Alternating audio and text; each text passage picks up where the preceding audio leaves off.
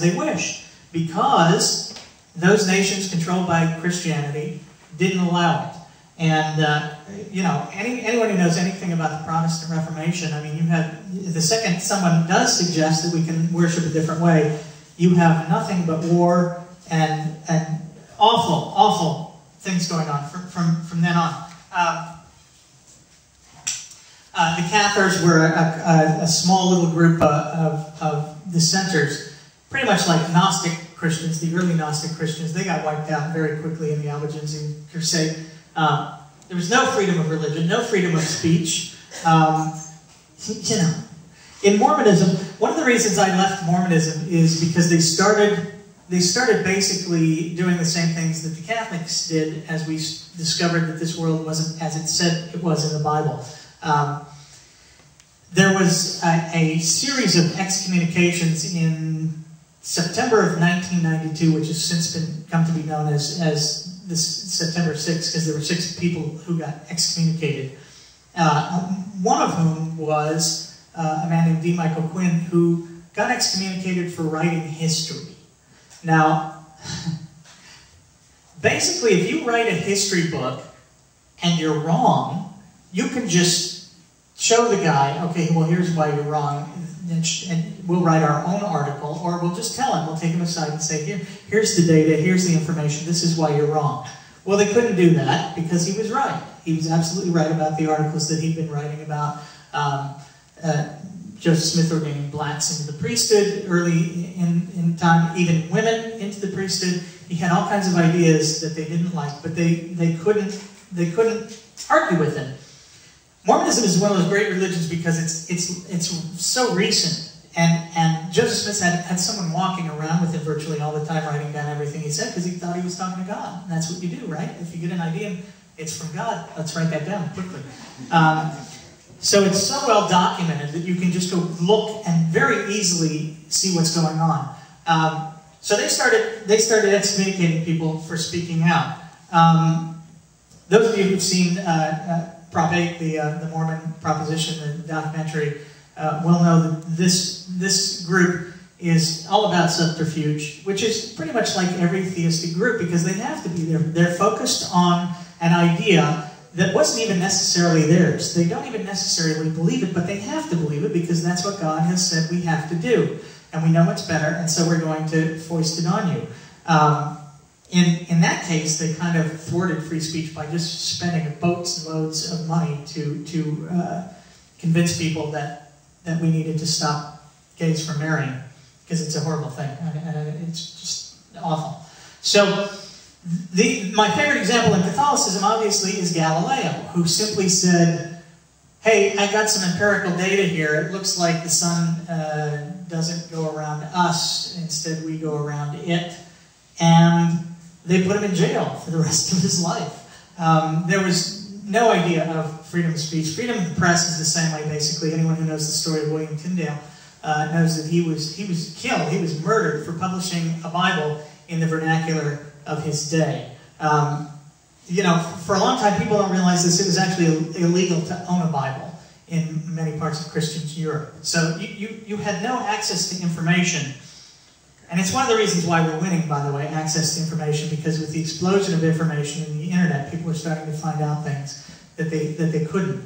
Um, when I was leaving Mormonism, I started leaving because uh, Mormonism is one of those rare religions where the, the tenets of faith are not faith-based. They are empirical claims which you can test.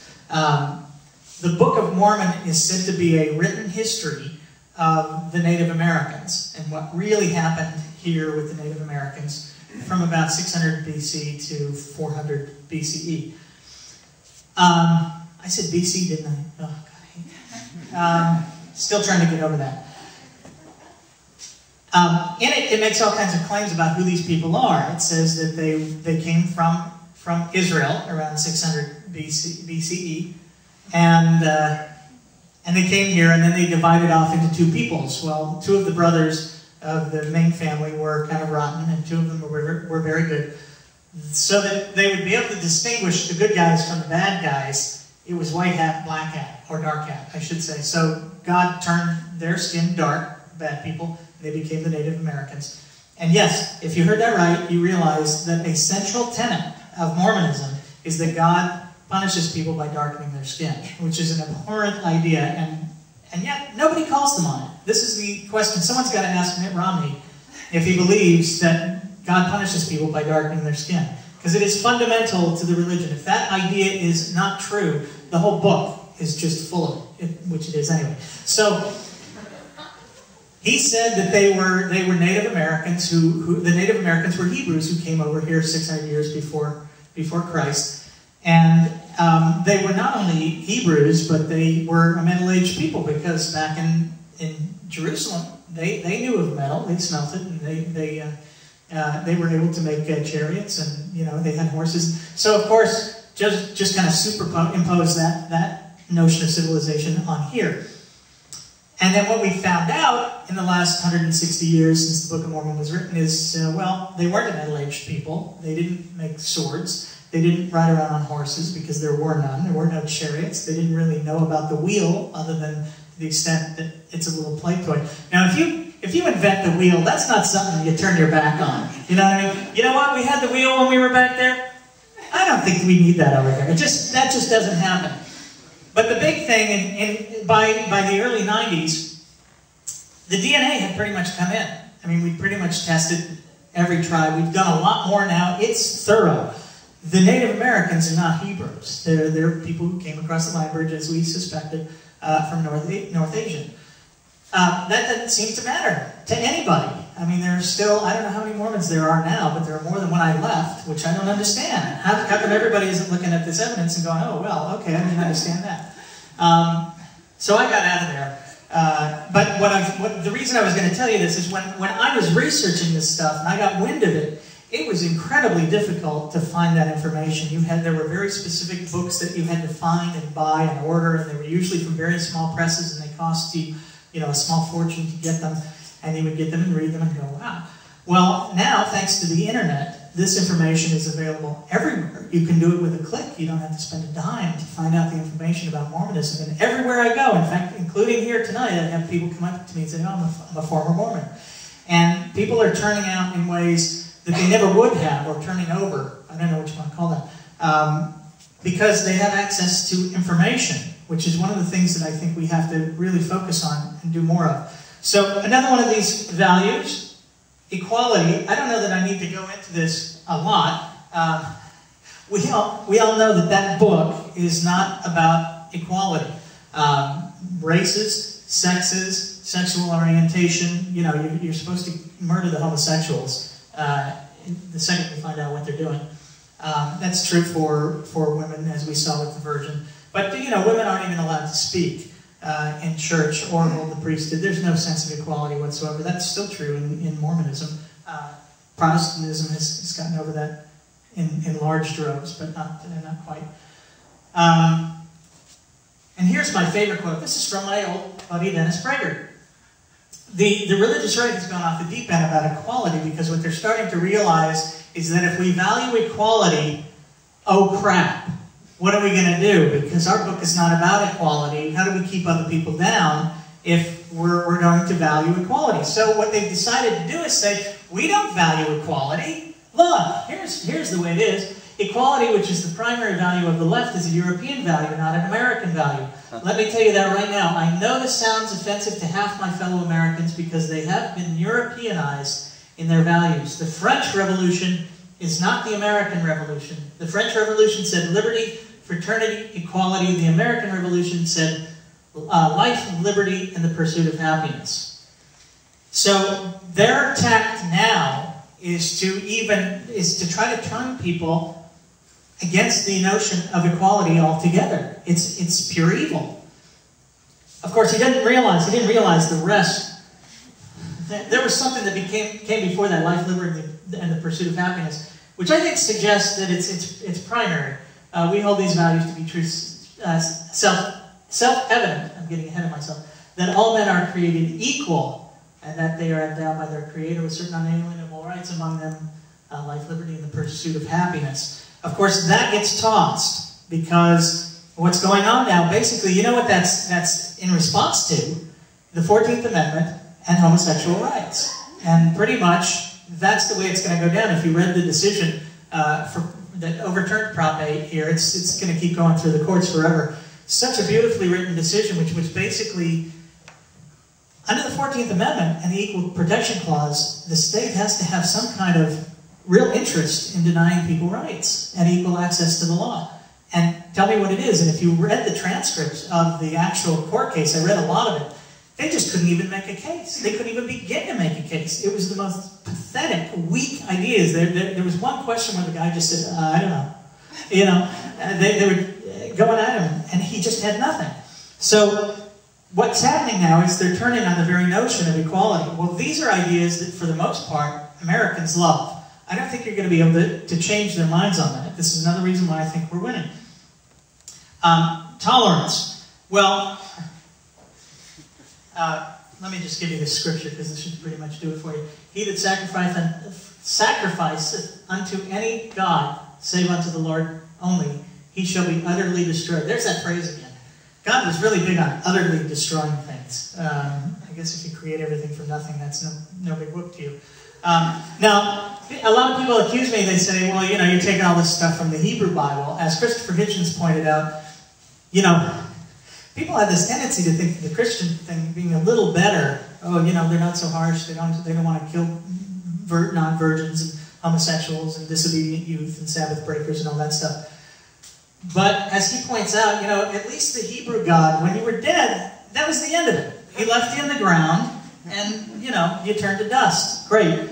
The Christian God digs you up, resurrects you, puts you back in a nice physical body of flesh and bone, and then tortures you forever and ever and ever. That's just not tolerant. I'm sorry, it's just not. Um, and then justice. The you know, the thing I love about justice is people will talk to me about how, you know, the, the Exodus story of Moses is about freedom and, and justice and, and all of that stuff. Of course, they forget what happened after that, which is what we talked about there in that episode, is they get their freedom, they get their justice, and then what are you going to do with it? Genocide on another people, and let's take their land. Great. Um, this is another area where if you look at the, at the first uh, 10 amendments of the Bill of Rights, what you really see, I mean, the subtext in there is, is just incredible about how, if you know what was going on in the Inquisition, um, you know, people, people, were, people were told, for instance, that um, there, there are witches, because that's in the Bible, and you shall not permit a witch to live. Well, we can't let the witches, witches live, so if someone's a witch, we gotta, we gotta take them out. Now, Monty Python did a great bit on this. I don't know if you've seen it in, in The Holy Grail about being a witch. How do you know she's a witch? We'll put her in the water and see if she floats. Um, and it really did get that crazy. It was, it was insane. One of my favorite stories is about, is about a guy who was being bothered every night by these three cats that would come sit on his wall and caterwaul. So he decided one night he was going to hide out by the wall and, and catch these damn cats, uh, who he was certain were witches who were there to, you know, just give him grief. So he hides out and he, he goes after them and he hits one in the leg and the other two kind of get away. And, um, and the next day they find a woman in the village who has a bad leg. Well, guess what? She, she was the cat on the wall that he hit with the, with the thing. That's got to be her. They take her and they torture her. If you're not familiar with what they used to do during the Inquisition, it wasn't, you couldn't just be, I'm sorry, is this bothering you? Don't go there? Yeah. They tortured her and made her confess that there were, you know, at least two other women in the town who were witches transforming themselves into cats and bugging this poor man and probably causing, you know, the, the bad weather that they had to kill the crops and all that stuff. So they were going to burn her at the stake. And of course, she died that night after all the torture. You want me to get that? Can I get that? Okay. Um, so she died in prison that night. I mean, it's, it's, it's awful, awful stuff. There was no sense of due process. There were no sense of, of human rights. None of that stuff uh, was, was available in Christian nations. Um, the, value, the values that we have come to know and love are not Christian values. It's as simple as that. So the question of how, how we make a better world, well, to me, this, this question has already been answered. Maybe it's not been answered completely in the affirmative, but we certainly know that there are cer certain values that we don't want anymore. And we have been slowly overturning these ideals, which are held by some of our other fellow citizens, this is basically what we've, what we've been overturning. We've gotten rid of God's will as being a primary in our life and, and exchanged it with human rights. This goes back to the, to the story of Abraham. The story of Abraham is that, you know, I, there are so many stories of this. The flood is another. We're not important. We don't matter. Um, you know, the poor guy who waits his whole life to get a kid, and God says, you know, take him out and slaughter him. Um, and that's the beginning of it. Do what God wants, even if it seems irrational, horrible, terrible, evil. Just do it. That you know, Nike stole that from him, by the way. So we've been replacing God's will with human rights, servitude with liberty, faith with reason, chauvinism with equality, bigotry with tolerance, just, uh, prejudice with justice, ignorance with knowledge, and canon or Sharia law with, with due process. We've been slowly, slowly doing this over the, over the last uh, 200 years here in America. To me, the case for, for religious uh, values and ideals in our life, in, in, civic public life, pretty much closed on September 11th, uh, 2001. What people don't understand is that you step back 500 years and you look at Christianity, it's the same thing as the Taliban. What I don't understand, what drives me nuts, and one of the things that we try to, to do in a humorous way on the Mr. Deity show is, is point that out to people. It's the same, it's the same thing. It's just another area of the world at a different time. Um, and any other ideology that advocated the things that are advocated in the holy books of the Western religions, we would dismiss them in a second if they were brought to us today and said, "Here, here's what we need to do." And I, I, I was, uh, I was asked to do an interview for an Israeli uh, radio show, and uh, I, I like this so much what I said that I, I, end with this in every speech because I think it's, it's fairly powerful. No, there's no ideology on the planet which is advocated, let alone canonized, genocide, rape, torture, honor killings, the murder of homosexuals, Sabbath breakers, non-virgins, inequality of the races and sexes, etc., and still enjoys the respect of good and decent people. Only religion boasts such a complete lack of moral inquiry, examination, and accountability. Um, that's basically my speech. Thank you very much. I want to say a couple things. If you like Mr. Deity, you can see it two places. Uh, one is on YouTube. Uh, you can just subscribe to our channel. The other is iTunes, where it just be downloaded into your thing. If you watch it on iTunes, please go, please go to YouTube as well and, and just watch it so that we get the views. Um, you can go to our website, mrdeity.com. The show is supported by donations and subscriptions, so that's the way we, we are able to do this. We also have a newsletter, um, Way of the Mister. I don't know if you know of Way of the Master, which is uh, the Kirk Cameron um, Ray Comfort, the Banana Man. We did a lot with season three, by the way, with the Banana Man. If you love the Banana Man, if you don't know who he is, he he showed us that God's perfect uh, perfect example of his his design was the banana because it has five ridges, it fits the hand perfectly, it's curved toward the mouth so that we can eat it. Yeah, you snicker and you laugh, but he was dead serious. What, what, what, he didn't know is that the banana that we have is, is a domesticated product. The actual real banana in nature is crap for humans. Um, we also have a DVD of season three, and we're coming around right to the end of season four, um, uh, where we're going to put out another DVD of that as well. All kinds of great uh, extra features, commentaries, and uh, the Larry Deity interviews, which are like the Frost Nixon interviews which people people didn't like as much as I thought they would. So we're, we're not doing those anymore. Anyway, that's it. Thank you much. Remember, we're winning. Let's just keep moving it on the way we've been doing it for 200 years. We're on our way.